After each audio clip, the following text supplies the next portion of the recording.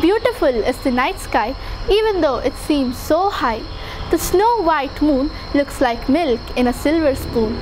How bright is Venus like an oracle of the goddess.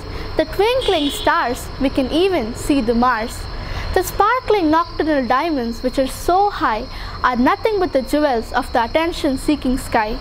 The significant full moon for parents and poets is a boon. Night sky is the nature at its best. After all, for the pearls, it's a nest. In the North Pole, the aurora borealis, for everyone it's just a bliss. The fascinating twilight, I look up in delight. It is really an amazing sight, though it is at that height. Thank you.